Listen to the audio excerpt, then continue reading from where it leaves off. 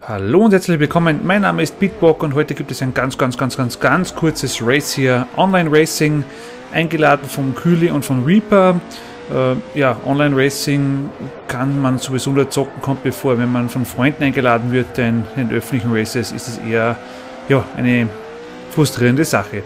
Ja, wie dem auch sei, hier mit Kühli und mit Reaper unterwegs. Ähm, zwei alte Hasen, was Racing betrifft. Also für mich ist es eher so eine Sache gewesen, so, ja, ich mache halt mal mit, weil ich eingeladen wurde.